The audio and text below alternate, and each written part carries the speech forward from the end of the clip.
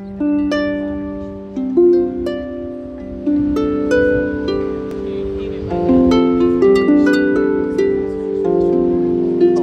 everyone, uh, to, to the English Reformation, uh, parentheses, S Reformations.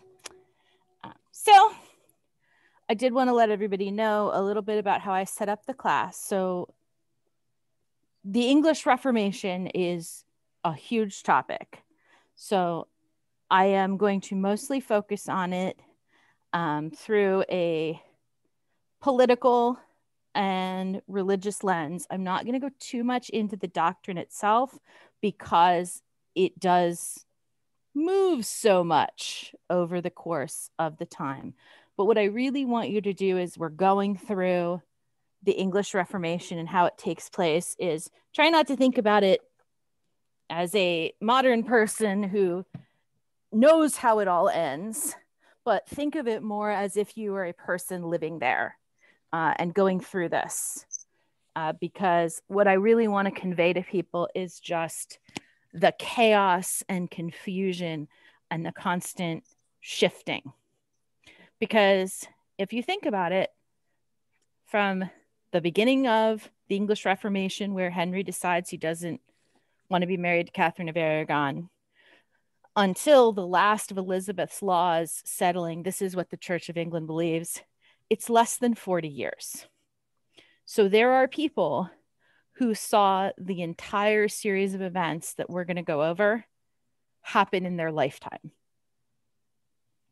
And so if you end up feeling a little confused at the end, I'm going to tell you that's by design uh, rather than just the absolute chaos of the English Reformation.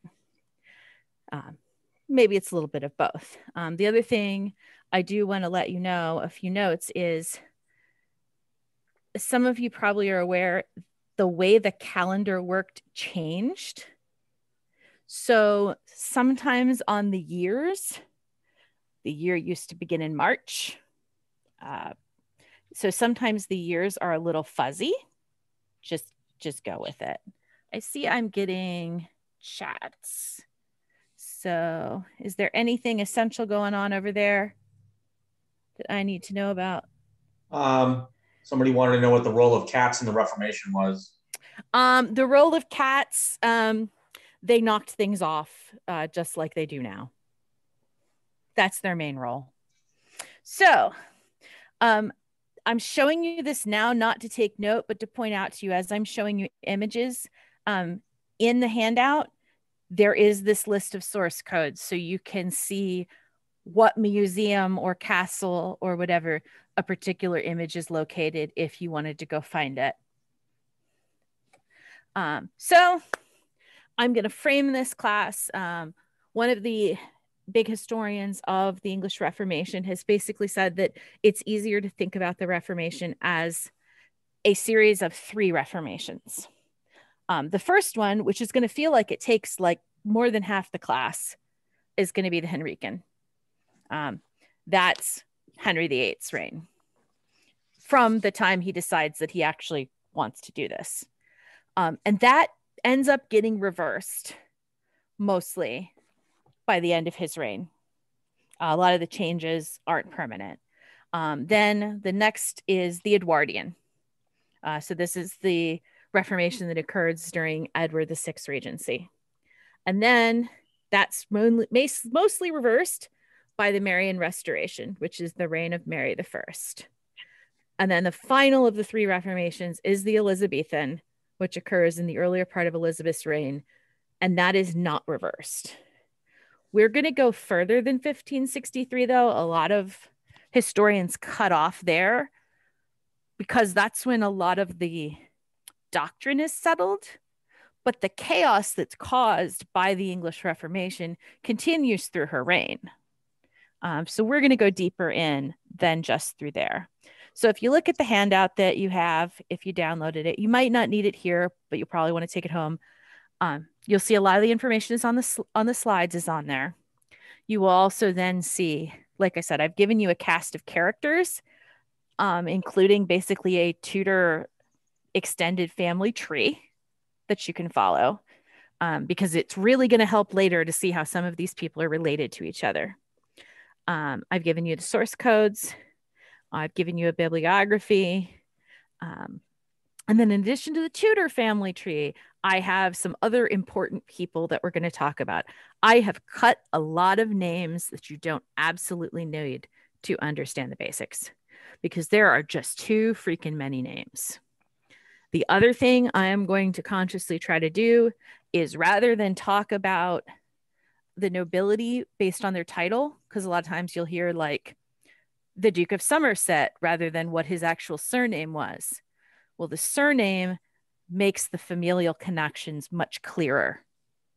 So I'll give you both and emphasize the surname because there were a lot of things that didn't make sense to me until I went, oh, well, that's why he cares about that. That's his kid. So we're going to start off uh, the Henrican Reformation. So this is the reign of Henry VIII. Um, so in period, if you're ever hearing anything about, if you're reading anything about Henry VIII's desire for his annulment, Henry's the only one who thinks it's annulment. Everyone else knows it's a divorce. Henry's annulment from Catherine of Aragon, it will be referred to euphemistically as the king's great matter. That's what they're talking about. So we're going to attack the question of why does Henry want an annulment? Why is he obsessed with having a son? But to do that, I need you all to step into the Wayback Machine even further. So we're going to go back to 1501. In 1501, Henry VII is King of England, and his son Arthur, the Prince of Wales, has is just married to this lovely young princess, Catherine of Aragon from Spain. And at the moment, Henry is a little kid. Um, so you've heard of the heir and the spare. In 1501, Arthur is the heir. Our future Henry VIII is the spare. The problem is, within a year of marrying Catherine, Arthur keels over. He dies.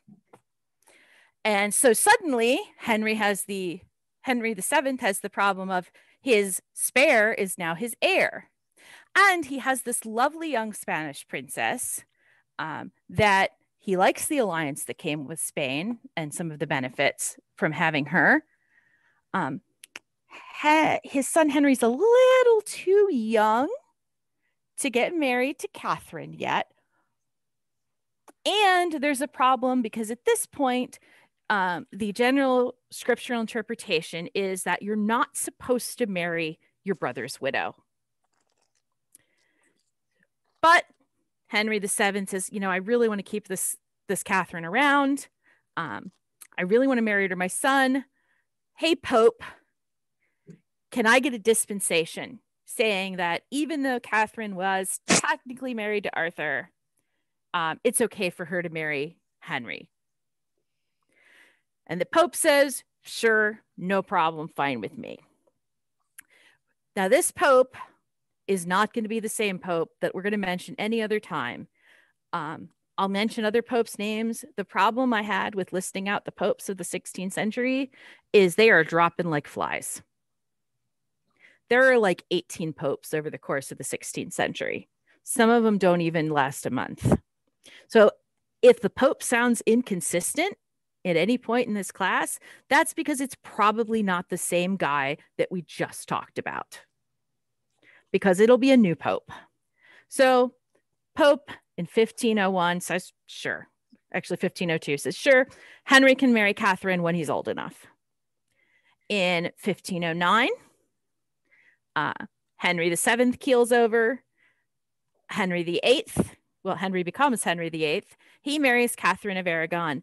And things go along very nicely for more than a decade. But remember, they got a dispensation from the Pope for her to marry him. So while Henry and Catherine are happily married over here in England, I want to remind you in 1517, the Reformation kicks off in Wittenberg in Northern Europe. Uh, this does not have a huge impact on England, particularly because the Protestant ideas that do manage to make their way to England, Henry and his advisors and churchmen actively suppress. In fact, in 1521, Henry has so impressed the Pope with his denunciation of Martin Luther that he, in fact, is awarded by one of the popes the title Defender of the Faith. That guy's dead by the time the next part of the story happens, but I'm pretty sure he probably rolled in his grave. Because, so we get a little further along. And the problem we have now is that Catherine has gotten older and she hasn't had a son for Henry. They have one child, uh, which is the Mary. I put up a por- nice portrait of her here in uh, red and orange. And Catherine has had, in addition to Mary, five other pregnancies. Um, she did have one son who lives 52 days. Uh, and then after Mary, she has a series of at least four more miscarriages or stillbirths. And remember, Catherine is several years older than Henry. She was intended to be his brother's bride, who was several years older than him. It gets to the point by the mid to late 1520s where Catherine's probably not going to have another successful pregnancy. And Henry realizes this. Um, and by the way, part of the reason I don't have a baby portrait there of Mary is because you only get your portrait painted if you're important. And as we're about to discuss, Mary wasn't that important at the time.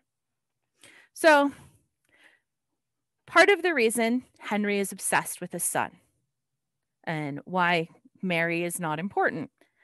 Um, so, at this time in history, England has never had a true queen regnant.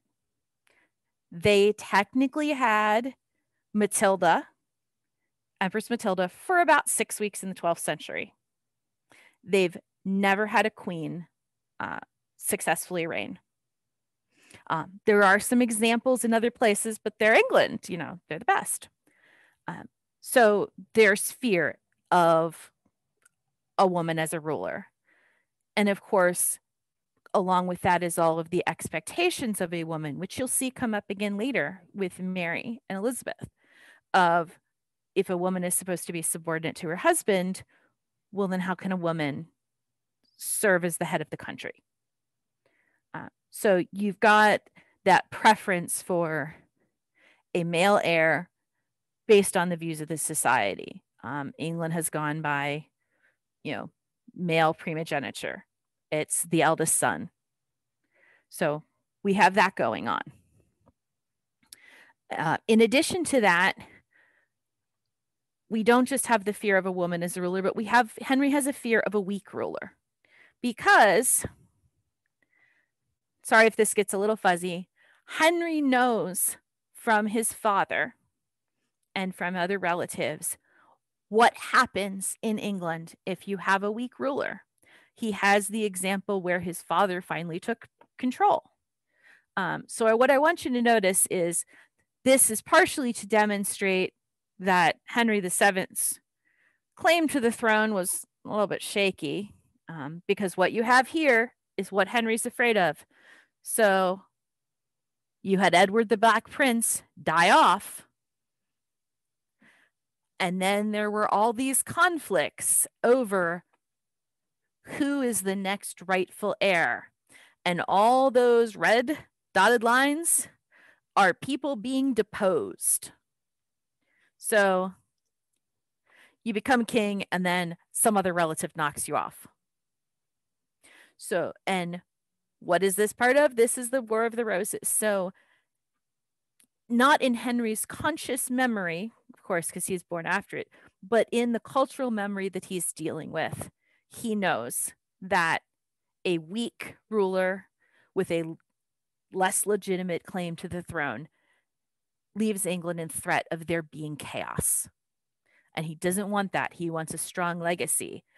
The other thing he has is, as an example of a weak ruler, is what happened over here with Edward V. Edward V is a child. Um, his uncle becomes his regent, and then poof, Edward disappears and is never seen again. So Henry's fears are not unreasonable for the time and the culture. Um, he is concerned that he's not going to have this strong male heir that's going to be able to carry on and prevent something that looks like this. The other thing is if he doesn't have a strong male heir, here's the big family tree. And some of these people, of course, are not born yet. We'll get to them. But if there's not a strong male heir to take over, look at all these other distant relatives who could get involved in one of those conflicts over the throne. And we'll get to them later. For the conflicts we have later, look, right here's Mary, Queen of Scots. You know, this whole idea of once you don't have a clear line of succession, throwing everything into chaos. There's the problem of legitimacy. Um, so Henry even toys for a little bit with what about his illegitimate son? So the unknown woman on the one side, the theory is she could be Bessie Blunt, who is a mistress of Henry's, who has a son with him. Uh, this is Henry Fitzroy.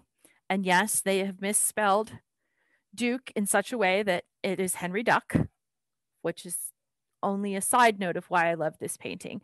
But so Henry's had a son, and he does appear to toy with even, hmm, can he make his the son strong enough that even though he's illegitimate, he can make him his heir? Um, this is solved, of course, because uh, Henry Fitzroy doesn't actually live that long. Uh, but Henry takes the unusual step of actually acknowledging this son publicly, much I'm sure to Catherine's humiliation, and creating him the Duke of Richmond and the Duke of Somerset, excuse me, and the Duke of Somerset, and has this big thing at court and gives him all sorts of titles. So that is the other thing is Henry is weighing his options he's not quite sure what he wants to do. He he believes he desperately needs a son of some kind, preferably one of his body. And this is all happening before Anne Boleyn comes along. But Anne Boleyn comes along, and then ideas that Henry has been toying with and trying to figure out what to do and how does he handle it, well, this accelerates everything. Um, it's fair to say Anne Boleyn is not the cause of what happens next, but she's the catalyst. She is the thing that is suddenly thrown into the mix that makes Henry decide to act. And Henry says, okay, now I have this beautiful wo- young woman that I am crazy about. At least Henry thought she was beautiful. So he calls uh, Cardinal Wolsey, who is his chancellor, and he says, okay, Wolsey, you know, we've talked about this before, um, that I'm not sure what I need to do about not having a son. Um, I need you to get me a divorce. Well, actually, he says, I need you to get me an annulment. Wolsey nods. And like I said, everybody knows it's not an annulment, it's a divorce. Yes, yes, Your Majesty, I'll get you your annulment. Wolsey tries for two years to get this annulment from the Pope.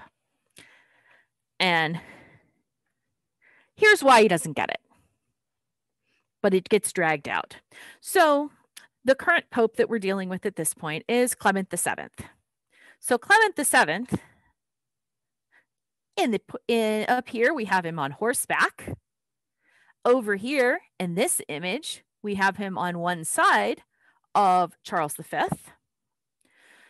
So we need to explain who Charles V is and why his being associated with the Pope means Henry doesn't get his annulment.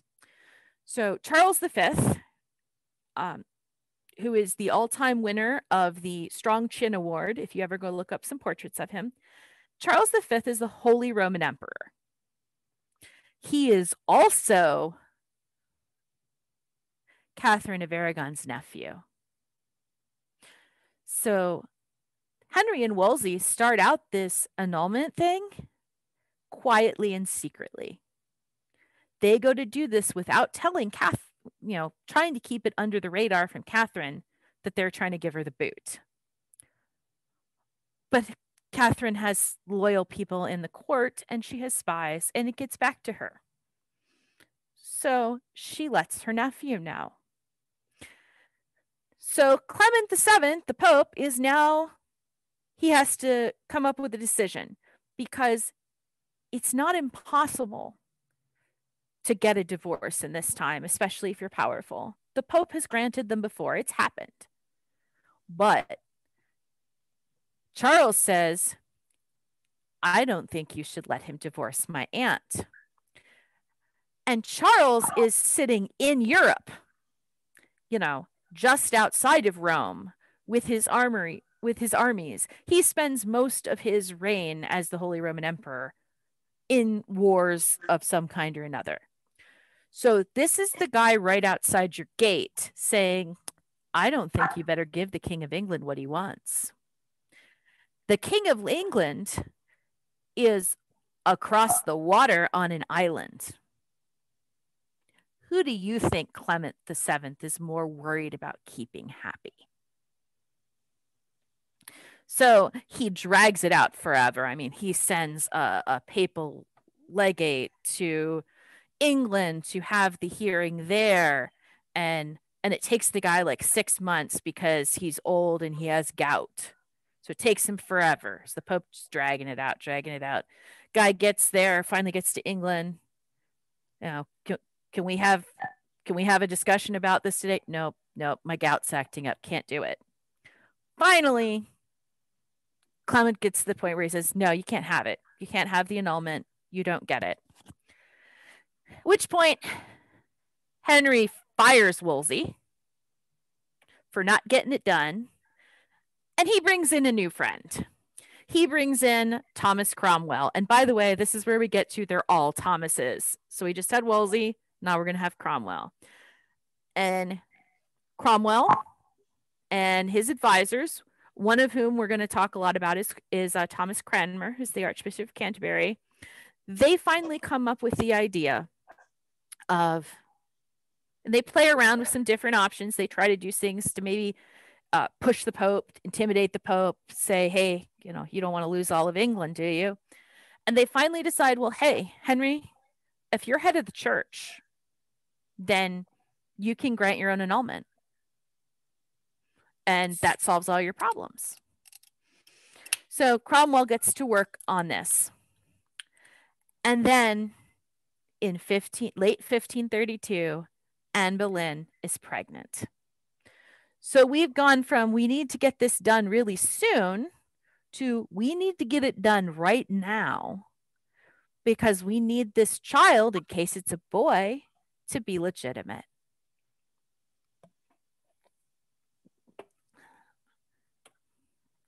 So Cromwell says, it's okay. And part of what I want you to see here is this isn't all at once. This is little tiny things, little tiny pushes. So Cromwell writes up a petition of grievances against the Catholic Church. And this is where you'll start to see me refer to the Catholic Church versus, it'll be abbreviated C of E, Church of England. So he comes up with it's this thing called the supplication against the ordinaries.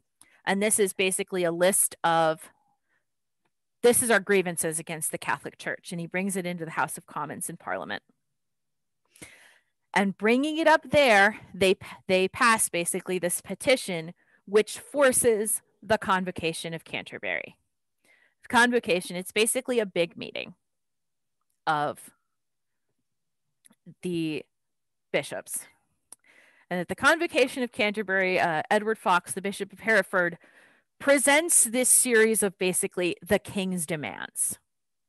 Um, and what the king wants is he wants the church to give up the authority to make church law, which are referred to as canons, without royal permission. So you can still make church law, but you have to get my approval as the king first. Uh, he wants to force them to submit any existing church law to a committee that will be appointed by the king. Um, that committee is going to be half members of parliament and half clergy. And they're going to have the ability to void any of the existing church law that Henry doesn't like. And then they'll retain only the church law, excuse me, that Henry considers acceptable. So he hasn't said, hey, I'm in charge, I'm in, ahead of the church yet, but he's pushing. He's pushing to say, I should get veto authority over the church decisions.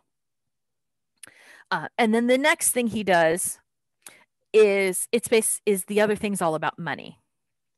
So um, there were payments that would need to go that would go from the clergy to the papal treasury, basically. It was expected that you would send a certain amount annually. It was kind of like tithing of, you know, you hold this office, you get so much money from it, you send so much of that to Rome, to the Pope. So we have an act to do away with that. And in the same act, um, so normally when you choose a bishop before this point, um, the chapter gets together and they elect a bishop. Well, you're still going to get together to elect the bishop, but the king's going to write you a letter and tell you which one you're going to elect. So you get the appearance that it's still an election, but the king is choosing the bishops.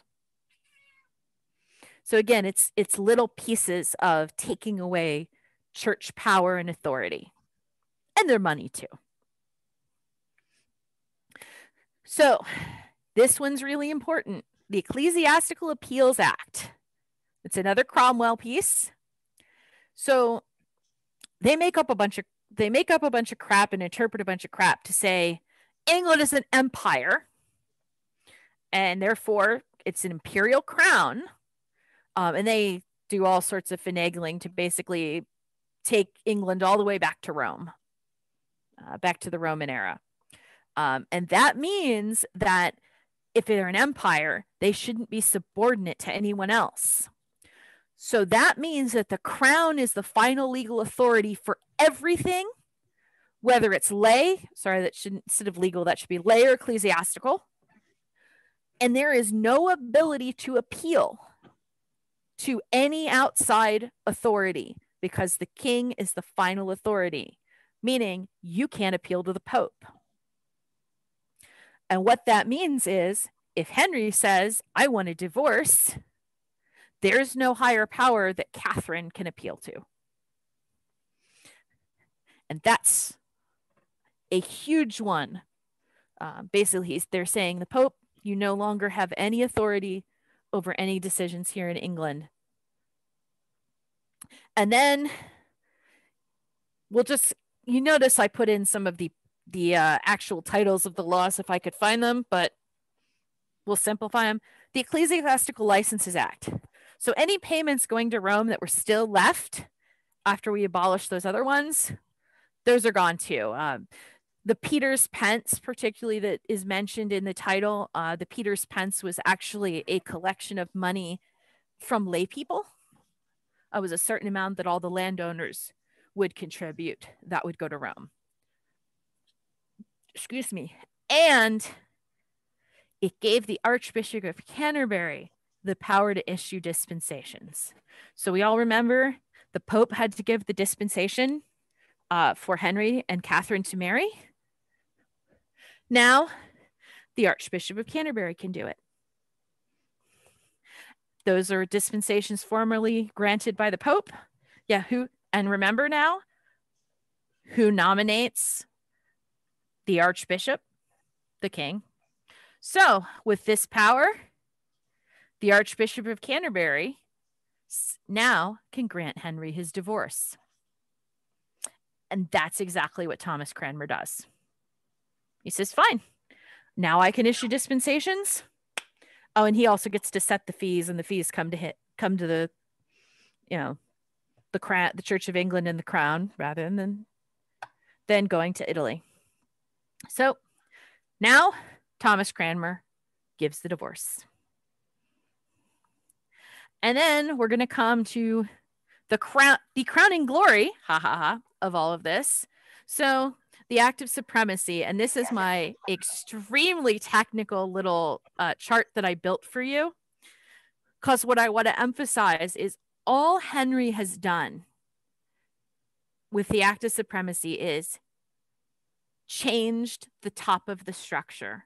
So this is the basic structure of the Catholic Church as it existed prior to and after the Act of Supremacy. He doesn't change the rest of it. He just says instead of the Pope at the top, it's the crown at crown of England at the top. So that Act of Supremacy says that the crown is the only supreme head on earth of the Church of England.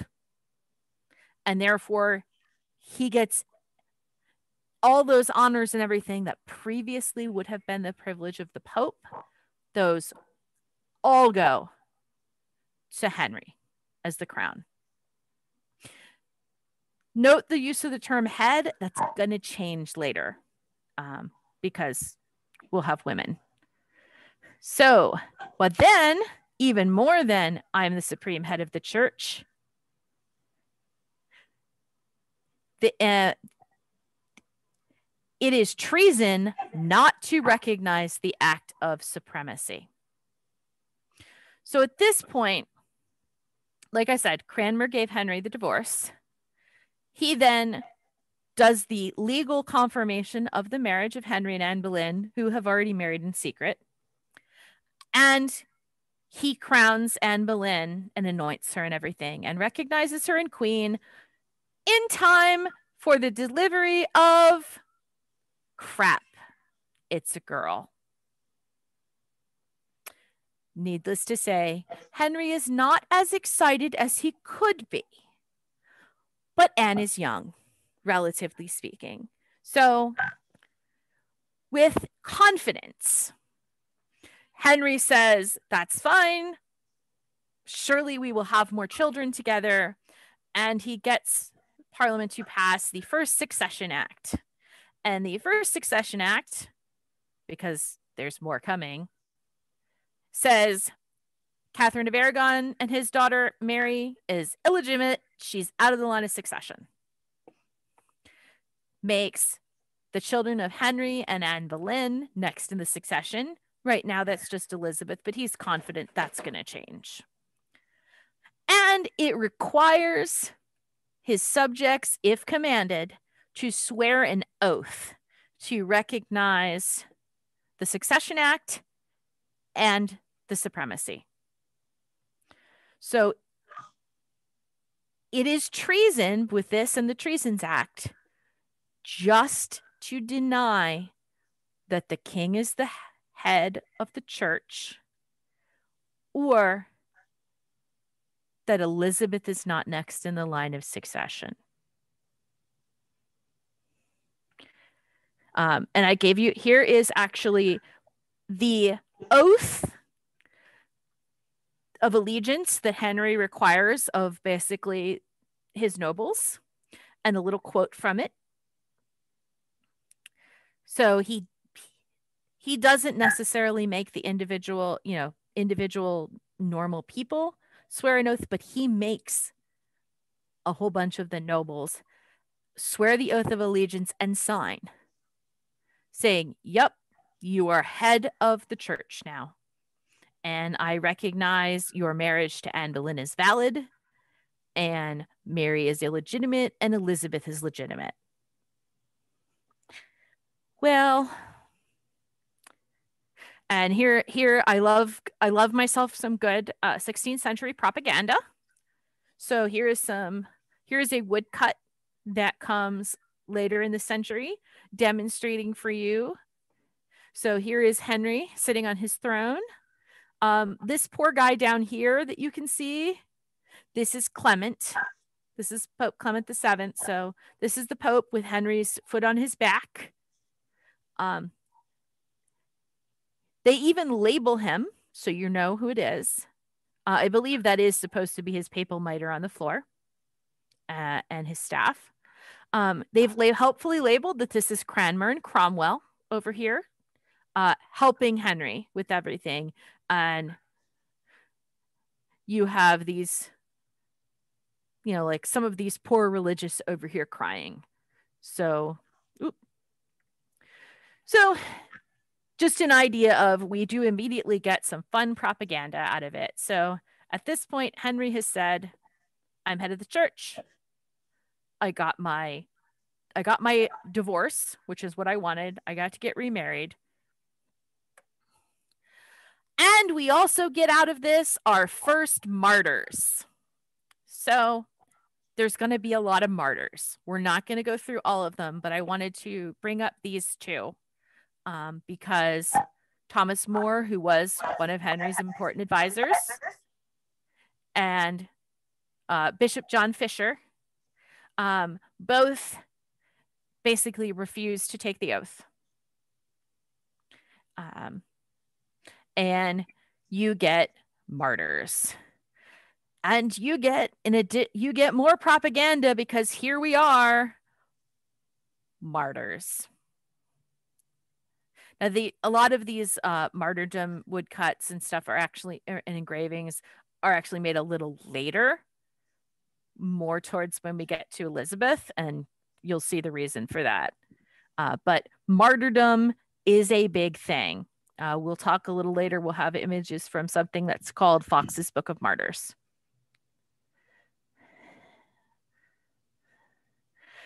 So Henry doesn't do a whole lot more necessarily with some of these things about the Reformation. He kind of got what he wanted. But Cranmer and Cromwell take off. Um, they've been given leave by the king to do this, and they start pumping out along with a couple other members of the clergy. Um, but they're really kind of leading the charge. Um, there's something called the injunctions. Um, and the injunctions is basically a list of uh, tenets and things. This is what the clergy should be teaching to the parishioners. Um, they write, though never get, they're never actually like published and put out um, 10 articles, which is the tenets of the Church of England. Uh, and these are very much based on some of the things coming out of the Continental Reformation. So Cromwell actually had some exposure to the Continental Reformation. Um, that'll come up again with someone else later. Um, there's they write something called the Bishop's Book, um, which is explaining the new doctrines. Um, and then they update. I put down here the Injunctions 2.0 because they further update the injunctions. There's going to be a lot of revisions and revising going on here. So Cranmer and Cromwell both are starting to put out things about okay, we've made this new Church of England with the king in charge. Now, what is going to make that distinct from just the Catholic Church where we were already a part of before, other than the king?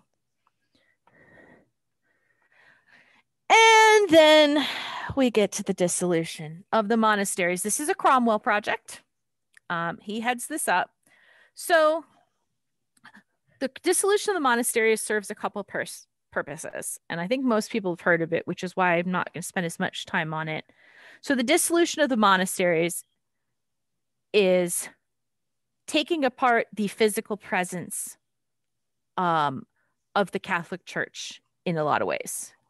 Um, so, what they dismantle are your monasteries and convents, and then eventually your schools, your hospitals, things that were previously provided by the church other than the church itself. They send out people to investigate them. So theoretically, it is to root out uh, corruption in the church. But really, they take inventories to see how much money they have. And Cromwell actually has some ideas for this money that don't match the king's. Cromwell recognizes that by taking away these monasteries and schools and hospitals, that they're serving a purpose to the populace, you know, to the lay people. And so he suggests basically that if they take all these things from the church, they can then use that for one of the first examples of a state welfare system, basically, that then the government can take over doing things like caring for the poor. That's not what ends up happening. But but Cromwell sends out and they inventory and they say, look at all this money that and land that the monasteries have. So over the course of 1536 to 1541, they, through a series of laws, dismantle these these monasteries. Um, they displace the religious that are serving in them. Um, they take everything that's valuable and take it back to the crown. So they estimate there's about 800 monasteries and convents in England when this starts. That comes out to about to 12,000 to 14,000 clergy or religious of some stripe are now displaced. They no longer have the home in the church that they expected to have for the rest of their lives in most cases. Um, there are executions, there's about 200 executed. Um, particularly as you get later into the dissolution, you have some of the abbots of some pretty major monasteries resist. So they kill them. This is not popular with the people. Um, there is destruction of lots of art uh, as well as books. Uh, like I already said, it dismantles the schools and the hospitals. Um, this takes away the places that a lot of poorer people received services. Um, this is where you'd go to be treated if you were sick. This might be uh, how you sent your son for education.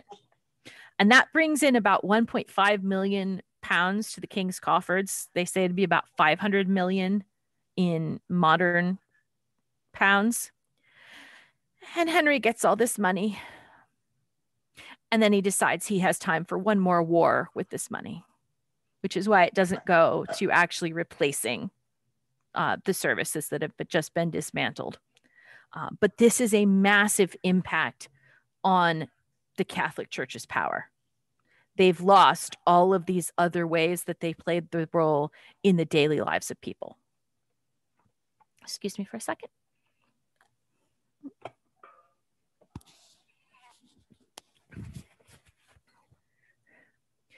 So, in addition to the dissolution of the monasteries, and actually, while it's going on, um, you have something called the Pilgrimage of Grace.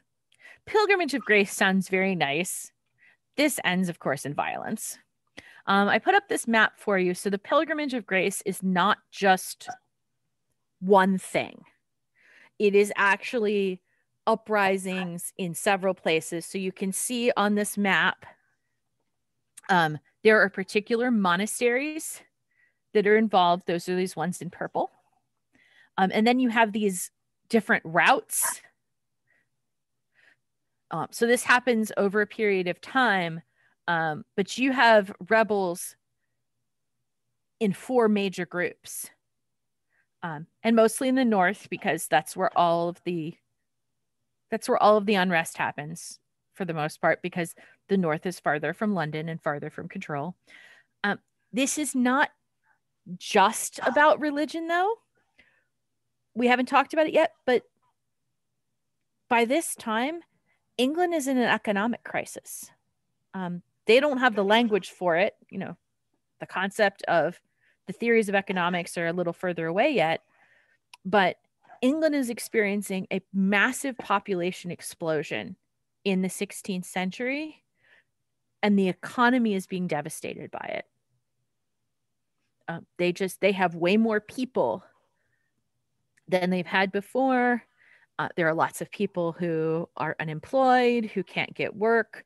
Um, when we get into Edwards, um, we're starting to see lands being enclosed that were previously available for grazing.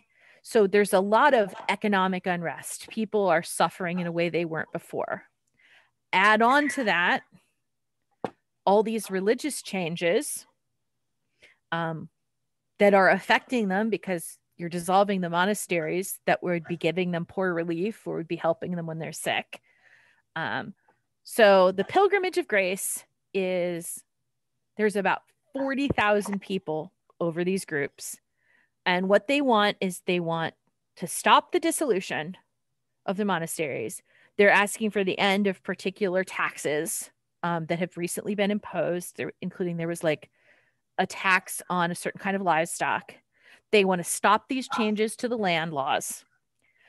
And they want a purge of heretics in government because the pilgrimage of grace, at least the way they phrase their argument, is they're not mad at the king. They're just sure that the king is has bad advisors. And surely if the king knew how what was going on was affecting his people, he would want to change it. Um, so it's not just religion, but you can't separate it from what's going on with religion at this point. And what I have down here at the bottom is this this red flag. This is a representation of the banners that the Pilgrimage of Grace uses. Um, so they are tying things in to that religious element. Needless to say, the Pilgrimage of Grace does not work out the way they want it to. Um, a lot of them flee. There are executions, uh, about 216 executed, because if there's one thing you should know about 16th century England, you don't mess with a Tudor. Uh, so Henry puts down this rebellion aggressively. And then he gets back to what he's worried about. So we should stop here. So we're getting up to 1536. So while the while the dissolution of the monasteries, it, right after the dissolution of monasteries is going on, in between the Second Succession Act and the third, we're going to have the fall of Cromwell. But first of all, so Anne Boleyn got her head chopped off. Henry marries Jane Seymour, and he finally gets that son that he's been desperately hoping for. Uh, here we have a nice little portrait of Edward VI as a baby because when you're that important, they paint portraits of you as a baby. Um, so he needs a new succession act because the last succession act said that the next in the line of succession was Elizabeth. So, second succession act in 1536. Um, Henry puts in a fail safe here. So Henry gets it it says that he has the authority that if if something were to happen to edward um he can choose his successor in the basically in either issuing letters patent or his will if he does happen to die without a clear heir. We got another oath. You know, got to have the subjects promise that yes you know they they recognize that this act, so it is declared high treason to interrupt this succession, to say that his previous marriages or offspring are legitimate. So you can't even say he was legitimately married to Catherine or Anne, and that Elizabeth and Mary are legitimate. You can't say that his marriage to Jane Seymour or any offspring are illegitimate. Um, it is treason to refuse to take the oath required by this act. It is treason to criticize Thomas More being put to death. You wouldn't have to say that if it wasn't a problem. It is it is treason to try to repeal this act. Um, and if you do try to interrupt the succession at any point, you forfeit your claim to the throne, if you have any. So between here and the Third Succession Act, um, Cromwell falls because Cromwell is involved in the negotiation of the marriage to Anne of Cleves. And of course, Henry's all excited eh, based on the portrait. Anne of Cleves gets there. Henry goes, Ew, I didn't want to marry that. And so Cromwell gets executed. This is the only execution I'm actually aware of that Henry later goes, Gosh, maybe I shouldn't have done that. Maybe it wasn't worth chopping the head off a guy who was really pretty useful to me. So, of course, by 1543, Henry has married again, chopped another wife's head off, married again, and he's married to Catherine of Parr. So he needs one more succession act. And that is he, re- he establishes the line of succession as Edward and any of Edward's children, any children that Henry and Catherine might have. And Hen- Henry is still planning ahead because if he were to get married again, any children he would have with that wife, and only after all that would it be Mary or Elizabeth. And it doesn't fully legitimize Mary and Elizabeth. Um, their succession is allowed for, but there are like conditions. Uh, like anybody they marry has to be approved. Well, Henry doesn't last much longer after that he he finally dies in 1547 and if with his will he says it's edward then mary then elizabeth and then the Grey family uh, they'll come back up again um, there is a little bit of conflict with his will because it was not actually signed so that gets brought up later when we're discussing this succession but finally, Henry's part of the Reformation is over because he's dead. And you can see he doesn't do a lot with the Reformation later in his reign. But now we have the regency of Edward VI and the Edwardian Reformation. So I love this image, and I'm going to show it to you while we talk about the, the beginning of Edward's reign. So Edward is a child um, when he comes to the throne. He is not old enough to rule, which means that it's going to be a regency. And it just so happens, thanks to um, the change of the supremacy, that most of the powerful people who are in line to be regent for Edward are Protestants. Um, so I love this. This is the allegory of the Reformation. So there's Henry on his deathbed, passing the throne over to his son Edward. And here's all the other guys who are going to play a role in Edward's reign because Edward's regency it's originally supposed to be a council, supposed to be a group of guys. Um, it's it's all Protestant, and very quickly, one person rises to power. Um, and you see here, we are continuing the subjugation of the Pope. We are continuing to destroy relics of England's Catholic past. So, the guy who first rises to power and quickly becomes uh, Edward's first regent is Edward Seymour. So, this is his maternal uncle. This is Jane Seymour's brother. Um, and the other person who is still playing a role here, the only Thomas who survived Henry's reign, is Cranmer. And Thomas Cranmer is still cranking stuff out. So, one of the first things that happens after Edward is king and Edward is Edward Seymour is regent is they repeal a whole bunch of stuff that Henry put into place. So remember all those things that were treason under Henry? Shoop, gone. Uh, they abolish all treasons. And so anything that was treason except what was in the original 1351 Treason Act. And what's in 1351 is what you'd expect. You can't plot against the crown. Uh, you know, you can't plot against or kill the king or his heir. Um, you you can't rape the king's wife or his eldest daughter.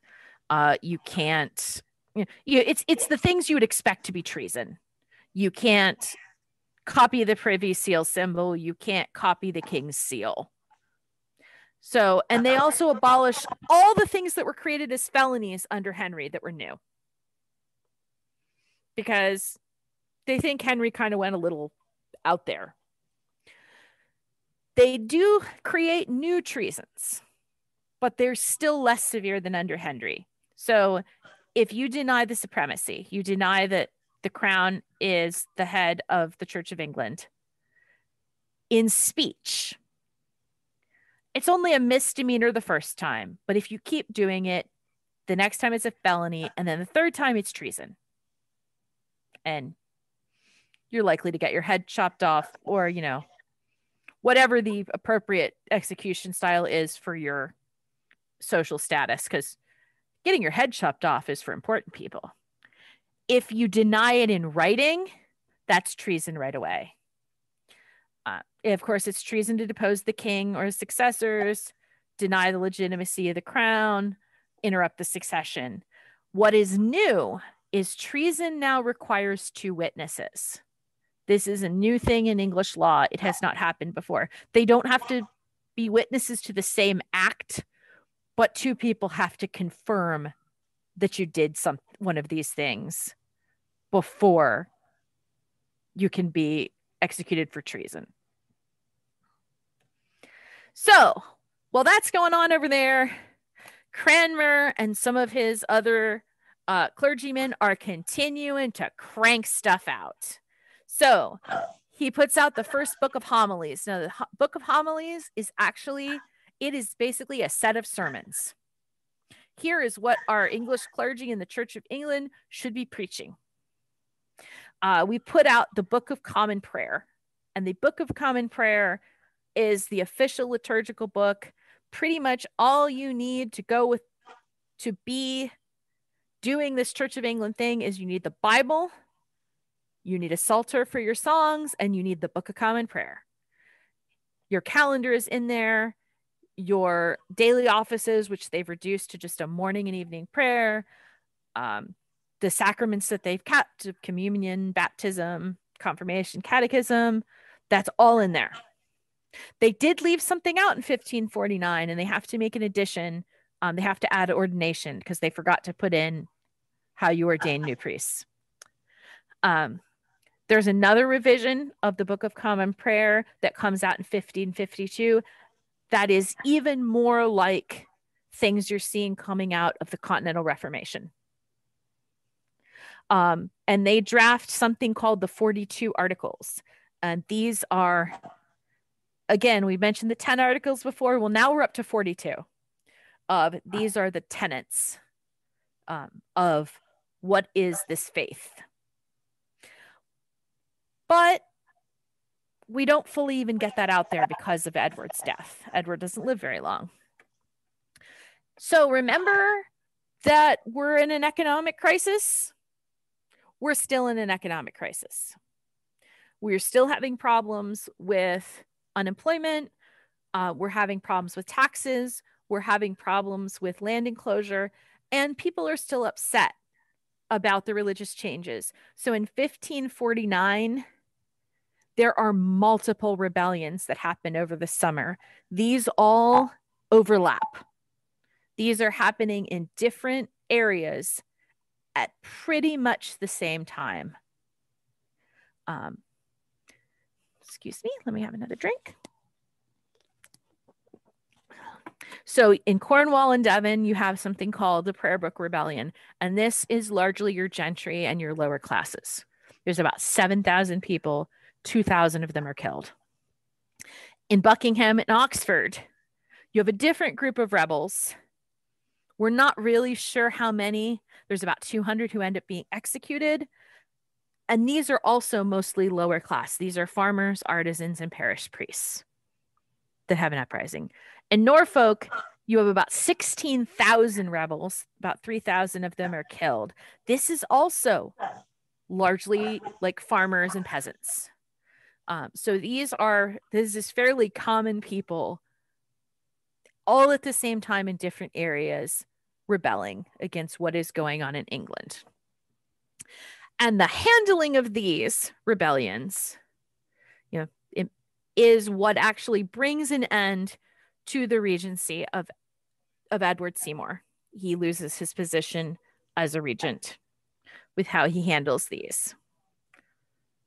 And the only other thing I wanted to bring up before we get to the important thing about the changing is one of the last important acts we get with regard to the Reformation is we have the Act of Uniformity in 1549 that says the Book of Common Prayer is the sole legal form of worship in England. You can't use anything else. And if you are a clergy member who tries to use anything else and you get caught, you will be punished. If you get caught three times, you will be imprisoned for life. We are not fooling around here. We are serious about this. So we have gone from Henry, who kind of did the Reformation for his own secular goals, to Edward's regency and Edward by the by the time he's a little older before he dies, we are serious about this Protestant thing. And we are really trying to create a Protestant England. And the only reason I need to bring up the second regent is because of what comes next. So I said Seymour Falls the next person who takes charge and, and Edward the Sixth Regency is John Dudley. Now, John Dudley um, doesn't play an important role in much else in the Reformation, except that he is the main advisor when Edward falls ill with what they think is probably tuberculosis now. So he is the advisor who, main advisor who talks Edward into writing what's called his device for the succession. It's intended to supersede Henry VIII's Third Succession Act and decides that he's going to skip his half sisters and he's going to name as his heirs Fran- the, the heirs of Frances, the Duchess of Suffolk. Um, most, um, a number of historians say that basically he gets Frances Brandon to give up her place in the succession in favor of her children. So, why does John Dudley want the throne to go to the Greys? Because John Dudley's son, Guildford, is married to Jane Grey or is about to be married to Jane Grey, depending on the exact timing. So Dudley is maneuvering to be the father in law of a queen and the grandfather of kings and queens. So that's the only reason why you need to know who John Dudley is, because it doesn't it make way more sense if you know why he wants the crown to go to Lady Jane Grey? Well, this is Frances Brandon, the one who we just said gave up her succession in favor of her daughter, uh, Lady Jane Grey, who actually was Lady Jane Dudley by the time this happens. Long story, very short. Um, Jane Grey is declared queen. Um, and then, probably just because of who was present in the council at the time that Edward died and Jane was crowned queen, basically the advisors kind of turn on her and decide that they should go with Mary instead. So Jane is queen for nine days, uh, if she's really queen at all, and then is imprisoned along with her husband in the Tower of London while Mary is queen, Edward's half sister. So Mary is Catholic. Mary was born Catholic.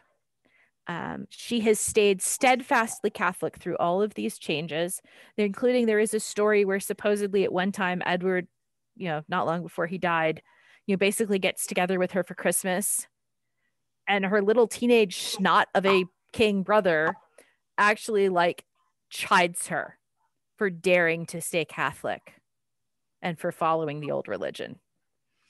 Um, so we now have Mary, and everybody knows there is no question in anyone's mind that Mary wants to return to Catholicism. So she becomes queen and she gets started right away. So they call this the Marian Restoration. She passes the first statute of repeal, says all that religious legislation passed under my brother, it's gone. It's all nullified, all gone. Then she passes the Treason Act. So remember, I just went through that list of things that Edward said were treason now? Gone. Get rid of them. Only that original 1351 Treason Act is valid. Any felony created since the beginning of my father's reign, gone. Take it off. It doesn't take as long to explain what Mary did because she just gets rid of things. She passes a second statute of repeal. Any religious legislation against the papacy, so basically against Catholicism, from 1529 to the end of Henry VIII's reign, get rid of it. Except she doesn't technically give up supreme head of the Church of England. She doesn't end up doing anything with it, but she doesn't get rid of it. So then there now here is finally something that she does differently. She says, "You know what? I think there's a lot of heretics in England and I don't have the tools I need to deal with them. I am going to revive heresy acts from previous crowns so that I can use them to suppress heresy and punish heretics. We'll get to that in a minute. So, obviously, the other main concern of Mary, besides kicking off, you know, getting back to Catholicism as fast as she possibly can, is Mary needs an heir. Um, Mary has been declared illegitimate so often, she's not been married off to anyone. Um, she's in her later 30s when she becomes queen. So if she doesn't want the throne to go to her sister Elizabeth, she needs to get on this thing. And her advisors beg her to pick an English husband. They even propose. Uh, so the guy in red here, this is Reginald Pole, uh, Cardinal Pole, who the Pope sends to England basically to help her with the restoration. They even suggest him. Uh, doesn't go well. Their other main, most eligible bachelor of England is Edward Courtenay, the first Earl of Devon over here. And he's not supposed to be a particularly nice guy to begin with. Um, that he doesn't actually have a lot to offer. He's loud and obnoxious and not very pleasant. And Mary is not interested in either of them. In fact, what Mary wants is she wants to marry her cousin Philip, her maternal cousin Philip. So Philip is over here with the uh, paternoster, all dressed elegantly in black. Um, and he is soon to be Philip II of Spain. He's already the king of Sicily. You know, he's got a whole list of places that he is ruling. And the English don't really want this. Um, they don't want a foreign prince. They're really scared of what it means to have their queen, a woman is supposed to be subordinate to their husband, married to someone who is not English. And the guy who gets the lucky task of negotiating this after Mary says, Nope, sorry, I'm marrying Philip, is Stephen Gardiner right here. Uh, he, he is also uh, an important advisor who had been around for a while during Henry's reign and comes back under Mary's. So he is the lucky guy who gets to try to negotiate this marriage.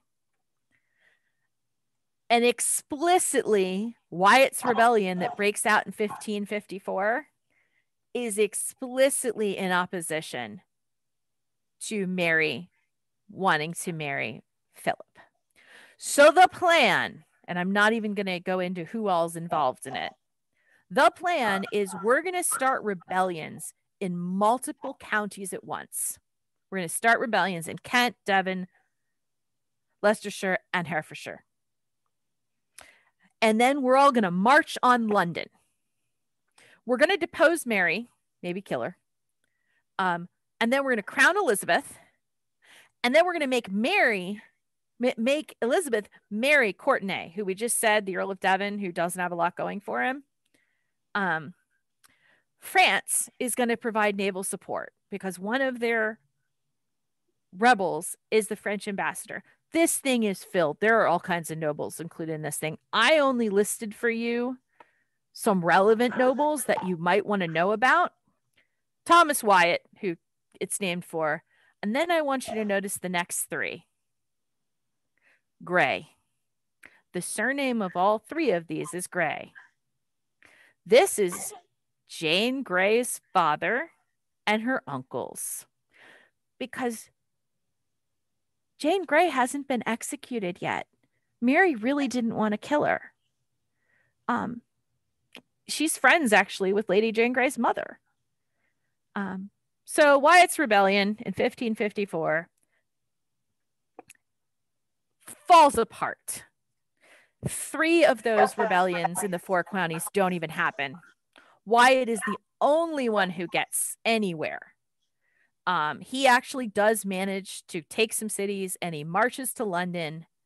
And Mary shows up in the London Guildhall and she makes a stirring speech. And the citizens of London repel him. So Wyatt obviously gets beheaded and quartered.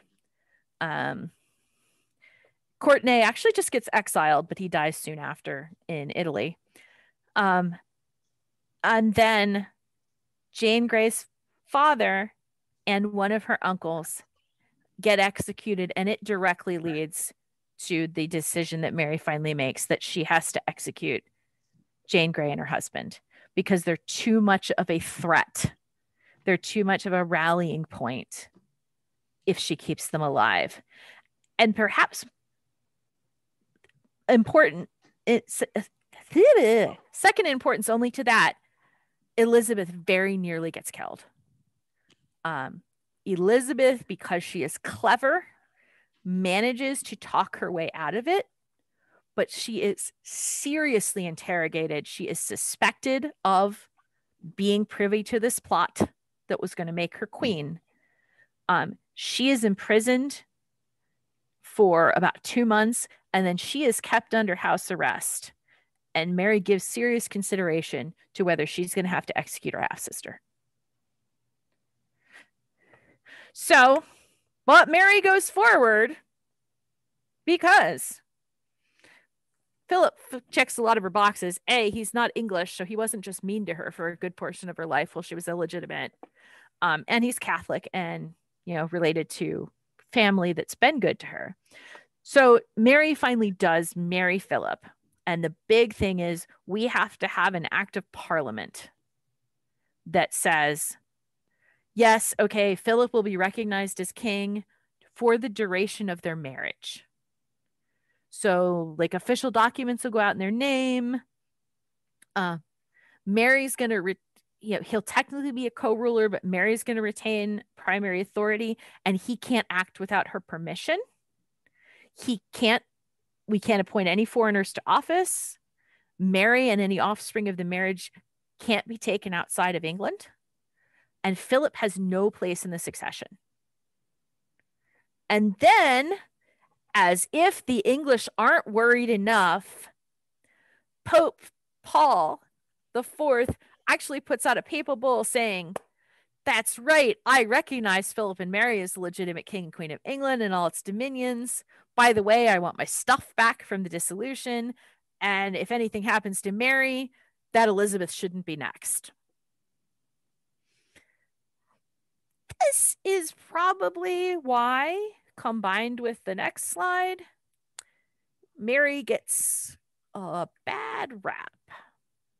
So, in addition to an unpopular marriage, um, no, these rebellions, Mary's religious policies. So, when she takes the throne, she immediately releases a bunch of Catholic prisoners and trades them for a bunch of Protestants, um, including Thomas Cranmer. Thomas Cranmer survived Henry VIII. He's not going to survive Mary. Um, she reinstates celibacy for priests so priests had been allowed to marry all of a sudden. A bunch of them did. Um, she reinstates celibacy, and if you were a priest who got married, you get booted. You've lost your job. You have no income. Um, she reestablishes the relationship with the Pope and she starts persecuting Protestants. She starts executions in 1555. It's largely burnings at the stake and about 800 more um, English Protestants flee outside of England. And we get lots and lots of nice propaganda here. Um, so, Foxe's Book of Martyrs. Uh, uh, this is a bishop being burned. Um, she doesn't kill that many people compared to the other Tudors necessarily, but she does it in such a short, compressed time. And it's not it's not executions that enough of the people are in favor of. This is how she gets to be Bloody Mary. So here is our burning of Thomas Cranmer.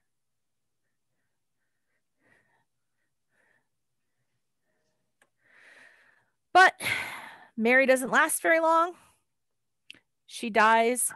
And unlike her brother Edward, when she dies, she does not try to skip her sister. She does not try to send the throne anywhere else.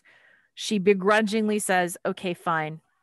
Elizabeth is the next successor to me, and she should be crowned. So we get to the reign of Elizabeth I. Now, Elizabeth undertakes something that they refer to now as the Elizabethan settlement. And this is a set of laws between 1558 and 1563, uh, laws and decisions that say, okay, we've been kicking around this Church of England thing, we've been separated from the Pope since the 1530s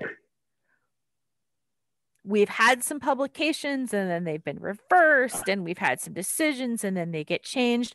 We're going to decide what is the Church of England. So, big fancy name for we have another act of supremacy in 1558. It clarifies the definition of heresy, and in the process of doing so, it narrows it. So, less things are heretical. It confirms Elizabeth as the supreme governor of the Church of England. Head was too controversial. Governor seems more okay for a woman. Um, and they choose, she chooses to use governor.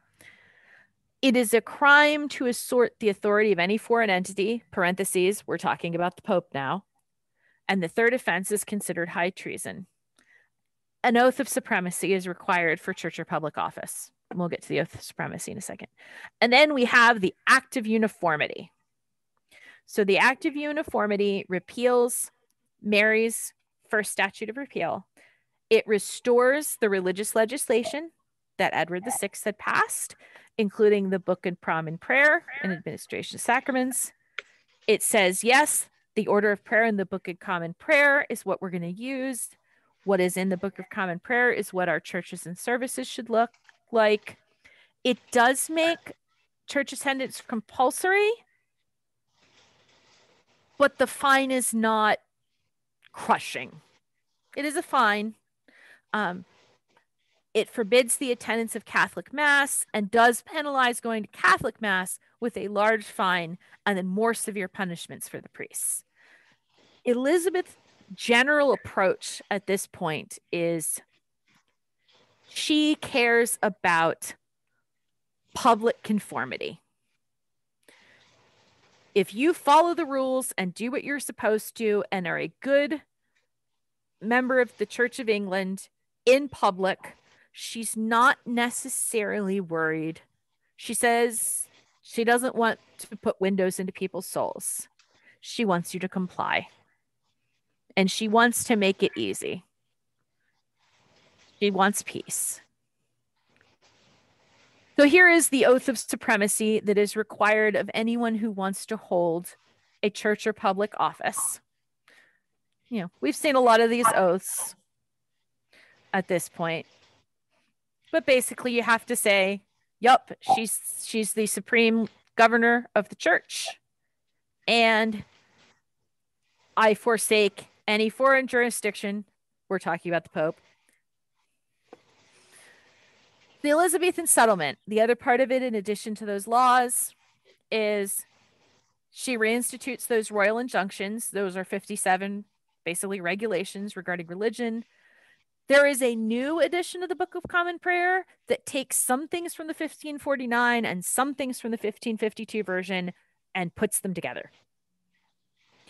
Um, the remember the 10 articles and then the 42 articles we finally settle it into the 39 articles and we get an act of parliament passed that says these are the doctrines and faith of the Church of England and these are its practices in 1571.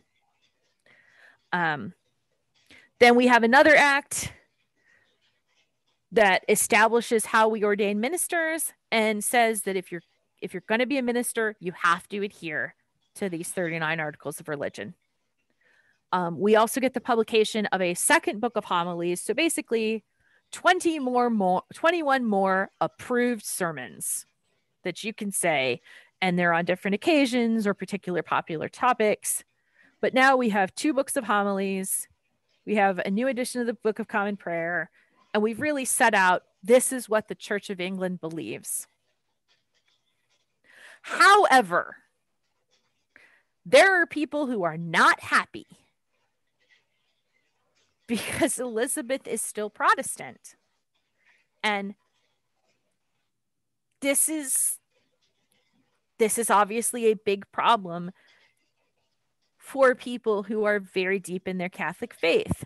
And most of the next rebellions we're going to talk around about are all going to revolve around Mary, Queen of Scots, because she becomes the Catholic centerpiece of these plots against Elizabeth. So Elizabeth has established what the Church of England looks like, but it doesn't mean her dealing with the Reformation is over because she's still dealing with the conflicts over should England be Protestant. So we have the Rising of the North or the Revolt of the Northern Earls in 1569. So this plan, we're going to dispose Elizabeth we're going to crown Mary, Queen of Scots, who has been in exile from Scotland and living in England in prison since 1567. And we're going to marry her to Thomas Howard, the fourth Duke of Norfolk. So they do occupy some places, but then um, Elizabeth sends out an army that's much bigger, and they all go, Whoa, that looks like we're going to get killed they run. So she declares martial law in the North and very harshly comes down on them because, as we discussed, one of the rules of the 16th century is don't mess with a Tudor. Uh, she executes about 750 or more people. However, we're not done. In 1570, a new pope, Pope Pius V, says Elizabeth is a heretic who's been pres- persecuting the Catholics. She is excommunicated. You don't have to listen to her if you're in, in England. Not only do you not have to listen to her, if you don't rebel against her, you're excommunicated too. So if you don't rebel against Elizabeth, your immortal soul is in peril. So now, wait, this plot may sound familiar. Now we're going to assassinate Elizabeth. This is the Ridolfi plot in 1571. We're going to again crown Mary Queen of Scots. We're going to marry her to Thomas Howard, the fourth Duke of Norfolk. Same guy we were going to marry her to in the last plot. This also involves, we're also going to have the Duke of Alba invade from the Netherlands. We're going to incite a rebellion in the northern counties of England because they're always the problems anyway. This plot implicates the Spanish ambassador, it implicates Thomas Howard, um, Mary Queen of Scots, Philip of Spain, the Duke of Alba, and the Pope is in on it. The Pope supports this. So we have another rebellion. This one doesn't really get off the ground. There's too many people. So then we have the Throckmorton plot in 1581. So you see, it's it's not over. The conflict is not done. This plot may sound familiar. Now we're going to use a Spanish invasion to depose Elizabeth and crown Mary Queen of Scots. This doesn't work out either they get caught. Then in 1586, we have the Babington plot. We're going to have another Spanish invasion. We're going to use that to either depose or assassinate Elizabeth. And then we're going to crown Mary, Queen of Scots. And this is the one that finally gets Mary, Queen of Scots executed because they actually have proof in the form of letters that says, yeah, Mary endorsed this. She was good with it so you can see there's still this even though in some minds it's settled it's not settled yet. Elizabeth being protestant is still a problem. Which is why we get a couple more acts that i'm going to talk about as we go out. So you have priests particularly jesuits and folks trying to sneak into England, trying to convert English to Catholicism, convince them to rebel. So in 1584, you get an act against Jesuits, seminary priests, and other like disobedient persons. If you're a Roman Catholic priest in England, you have to leave or you have to swear an oath to obey the Queen in 40 days. If you're currently abroad and were edu- if you're an Englishman abroad who is educated in a Jesuit seminary, you have to come back within the next six months. And then as soon as you hit land, hit England, you have to swear an oath within two, within two days of arriving that you're going to obey the queen. If you take that oath, even though you've promised to obey the queen, you can't be within 10 miles of the queen for the next 10 years without her explicit written permission. Oh, and by the way, it's illegal to harbor or even hide the presence of a priest. If you know a priest is in your a Catholic priest is in your neighborhood, you have to report it to the authorities or you can be charged. So, I just bring up two more. We've got to have a religion act, imprisonment without bail for failure to attend church, convincing others not to go to church, denying the crown's authority in religious matters, attending illegal religious meetings. You can be exiled. You can be fined for harboring recusants, which are basically, basically um, Catholics who refuse to go to Church of England services. And we have a Popish Recusants Act, where Roman Catholic recusants cannot move more than five miles from your home, or you could have to forfeit all your property. So, this battle is still going on through the end of our period is really what I want to impress upon people is just because the laws of what is the Church of England may be settled, this is not settled um, while Elizabeth is on the throne. But I finish it up with our lovely allegory of the Tudor succession that did not go any with it anywhere near the way Henry expected it to when it all kicked off. So, uh, just to conclude, to talk for a minute about what makes this different than what happened on the continent. Um, for one thing, uh, a number of scholars have done research. Um, the Continental Reformation in 1517 really kicks off um, partially as a result of a lot of corruption in the church in what becomes Germany. Um, there's not a lot of evidence that the English church was anywhere near um, that kind of corrupt. Um, it just, that wasn't what was going on there. Um, the Reformation obviously occurs in a much different fashion. Um, the the role that ju- just a king um, doing this, as opposed to, you know, in some of the continental Europe, you have these wars of religion where you have different neighboring rulers fighting over religion. Well, you don't you don't have that. Um, it just the Reformation looks very different in England than it does really anywhere else. Um, and I hope that that was very educational for all of you. I hope it wasn't too painful because that was a lot of stuff in an hour and a half. Um, if people have questions, um, you can feel free to ask. I will happily tell you if I don't know.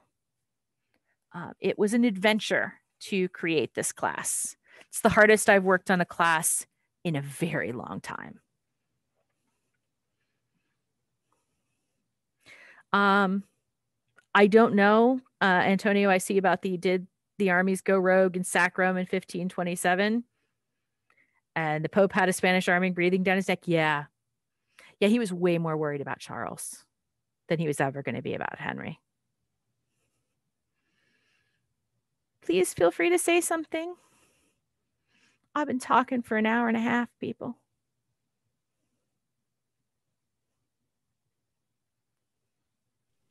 Well, thank you. It's been I actually have a question, but I really enjoyed it. thank you. I, I hope it helped that I tried to do some uh, organization and stuff.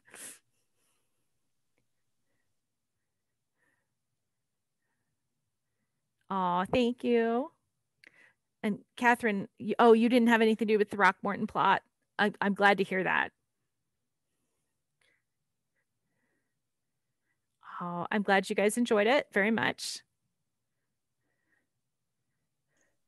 Next, if I have to do this in person, I think I need puppets or a felt board or something, because um, that's the only way we're going to keep up. Hmm? Thank you very much. You're welcome. It was very, very good. Thank you. Thank you.